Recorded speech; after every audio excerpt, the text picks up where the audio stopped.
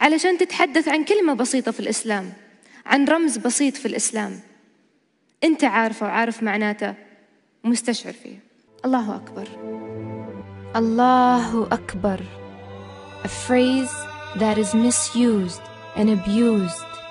You may have heard it in reports covering terrorists in the news.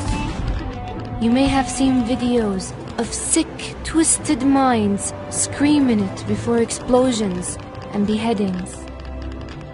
But we, Muslims, we know it when we celebrate, when millions gather and concentrate, becoming one with no color, no race, and only faith.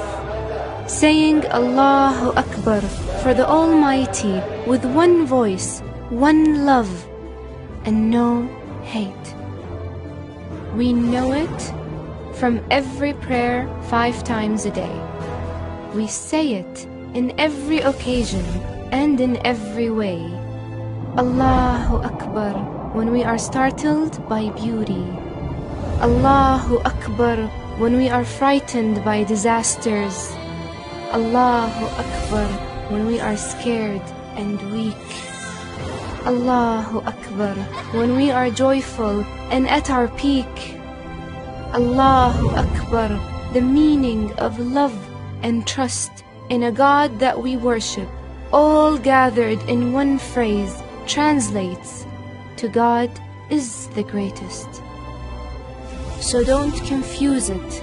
Don't allow terrorists to contaminate a peaceful religion and a phrase that is so great.